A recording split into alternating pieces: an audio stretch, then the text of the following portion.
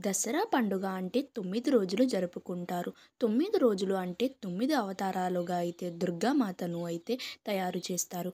నాగబాబు కూతురు నిహారిక అందరికీ తెలిసిన విషయమే. అయితే డివోర్స్ తర్వాత తను ఎటువంటి పోస్టులు పెట్టినా నెగిటివ్ కమెంట్స్తో అయితే ఫ్యాన్స్ అయితే ముంచేస్తూ ఉన్నారు.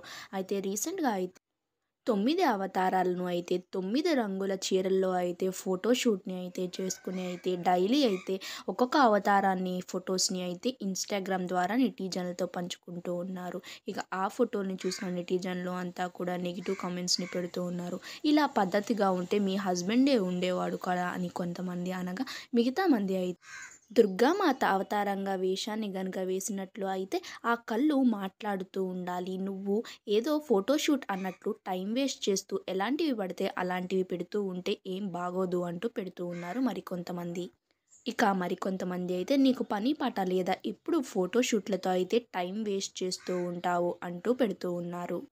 ఇప్పటి వరకు అయితే ఆరు రోజుల నవరాత్రి పండుగను అయితే ఆరు చీరలు ఆరు రంగుల ద్వారా అయితే నెటిజన్లతో పంచుకున్నారు ఆమె. ఇక మీకు దీనిలో ఏ పిక్స్ బాగా నచ్చాయో కింద కమెంట్ సెక్షన్లో కమెంట్ చేయండి. అలాగే నా వీడియో కనుక నచ్చినట్లు అయితే లైక్ చేసి ఛానల్ని సబ్స్క్రైబ్ చేసుకోండి.